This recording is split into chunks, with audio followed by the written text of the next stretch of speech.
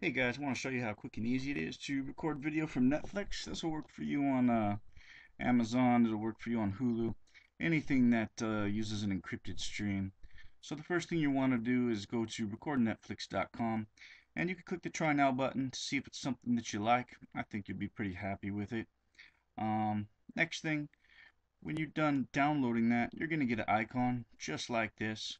And when you open it up, this is the program that you're going to be getting. Now, it's a pretty simple interface. Um, I'm just going to go over some basic features with you. Basically, here's the settings, and what you want to do with these generally is nothing. You just want to leave them alone.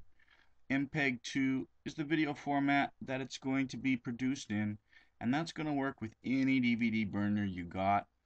Um, one thing I do want to point out for Windows 7 users is that there's going to be some options in here for Vista, and as far as this program is concerned, uh, Vista and Windows 7 are synonymous. You can use those options as well. I'm using Windows 7 and because of that I have this little bar here that shows me that whether or not I can hear audio from the screen I am recording an audio stream.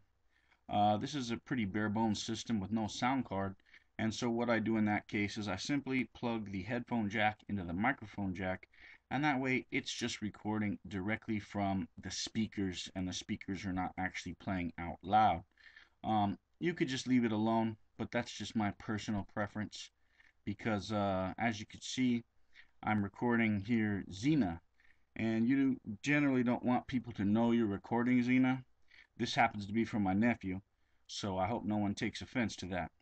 Um, okay let's go ahead and just start recording. Let's click get window and uh, it detected the, the video screen. It's probably going to need my help. So I'm going to go ahead and help it and just shrink that window down a little bit. Let's go there and let's move that over here. I'm not going to make this window perfect, but basically that looks pretty good. Next, we simply hit the record button. And now we are recording. So we're recording MPEG 2. Uh, we're getting video and audio. And it's going to be a high quality video. Uh, you're generally not going to lose any quality. And I want to point out to anyone who uses this that it's always better to record in the small window as opposed to using full screen. Um, just because if your broadband isn't that great, you're more likely to hiccup in full screen than in a small window. And basically, um, let's go ahead and pause that recording now. And actually, we're going to stop it. And we've got two options here. We can play what we recorded, or we can view it. Um, I'm just going to show you what happens when we click view, and then I'll show you play. Um, okay. Obviously, this is our most recent one, number 21. So let's go ahead and play that file. And I only recorded for a second.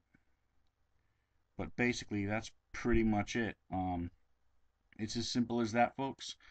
Uh, hope you enjoy the software. Once again, visit recordnetflix.com and check it out for yourself.